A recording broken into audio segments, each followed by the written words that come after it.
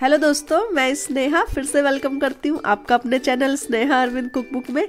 तो आज बनाएँगे हम लोग एगलेस पैनकेक बिना अंडे के भी बहुत ही फ्लफी सा और सॉफ्ट सा पैनकेक बना के रेडी करेंगे। बहुत पसंद आएगी आपको, झटपट से रेडी हो जाने वाली रेसिपी है। और वीडियो पसंद आता है तो प्लीज़ इस वीडियो को ज़रूर से लाइक कीजिएगा। और चैनल पर नए हैं तो प्लीज़ सब्सक्राइब करके ज़रूर से सपोर्ट कीजिएगा। तो चलिए शुरू करते हैं फटाफट से हम एगलेस पैनकेक बनाने के लिए। एक बड़े से मिक्सिंग बोल में सबसे पहले हम वन कप के अराउंड मैदा डालेंगे, साथ ही में डालेंगे वन फोर्थ कप के अराउंड पाउडर शुगर उसी के साथ में वन टीस्पून के अराउंड हमने बेकिंग पाउडर का यूज़ किया है, साथ ही में हमने हाफ़ टी स्पून के अराउंड बेकिंग सोडा डाला है. साथ ही में यहाँ पे हम थोड़ा सा नमक भी डालेंगे और सभी ड्राई इंग्रेडिएंट्स को आपस में पहले अच्छे से मिक्स कर लेंगे. उसके बाद हम यहाँ पे यूज़ कर रहे हैं वन फोर्थ कप के अराउंड मेल्टेड बटर का. और बटर को भी हम हमारे ड्राई इंग्रेडिएंट्स के साथ अच्छे तरीके से मिक्स कर लेंगे और अब हम यहाँ पे यूज़ करने वाले हैं बटर मिल्क का।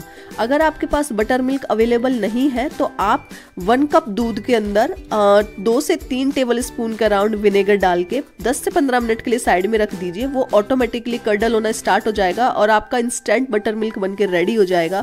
और अगर आपके पास अवेलेबल है तो आप डायरेक्ट मेरी तरह यूज़ कर सकते हैं। तो यहाँ पे हम वन कप बटर मिल्क को अच्छे से धीरे धीरे करके मिलाएँगे। और इस तरीके से लम्स फ्री बैटर बनाएँगे। ये देखिए, इस तरीके से। पैनकेक्स वगैरह में बैटर की कंसिस्टेंसी बहुत मैटर करती है तो हमें ना बहुत थिक रखना है और ना ही बहुत पतला रखना है। उसके बाद लेंगे एक नॉन स्टिक पैन या तवा और उसके बीच में अपना बैटर इस तरीके से प्लेस करेंगे। हमें इसको फैलाने की बिल्कुल ज़रूरत नहीं है। अपनी कंसिस्टेंसी के हिसाब से हमारा पैनकेक अपने आप शेप ले लेगा।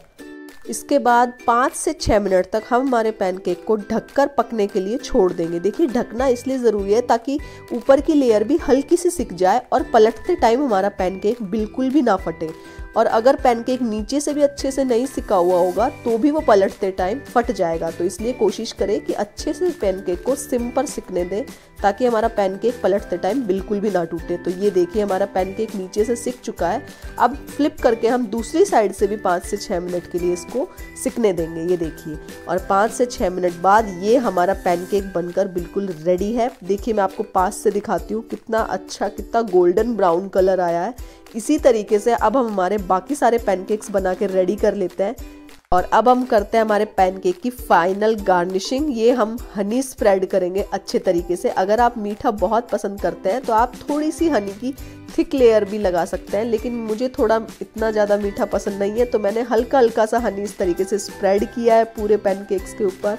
उसके बाद आप चाहें तो यहाँ पे बेरीज़ का यूज़ कर सकते हैं ड्राई फ्रूट्स का यूज़ कर सकते हैं, या जो भी और चीज़ के साथ आप अपने पैनकेक को सर्व करना चाहें, मैंने यहाँ पे बटर का यूज़ किया है।